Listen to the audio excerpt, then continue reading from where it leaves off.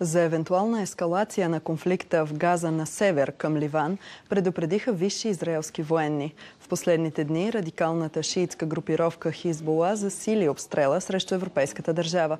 Междувременно френският президент Макрон поиска от израелския премиер Нетаняхо трайно прекратяване на огъня в палестинския анклав. Израелската армия предупреди за евентуално разширяване на операциите по границата на страната с Ливан. Предупреждението бе отправено на фона на засилени действия в централната част на ивицата Газа. Освен това, израелските сили действат в големите градове, окупирания западен бряг, включително Дженин и Рамала.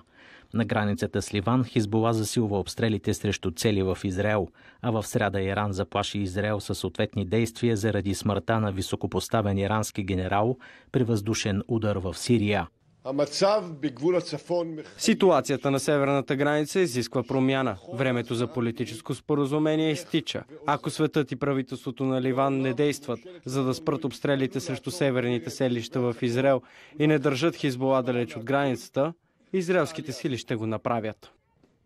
Въоръжената шиитска групировка Хизбола, която е подкрепена от Иран, предприе чести обстрели срещу Израел, особено след нападението на Хамас и отговора на Тел-Авив.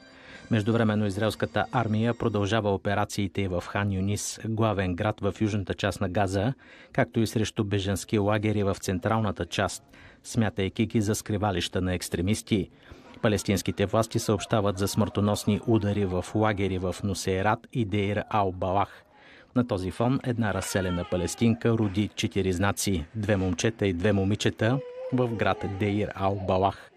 Около 1 900 хиляди души или около 85% от населението на Газа са били разселени от началото на военните действия.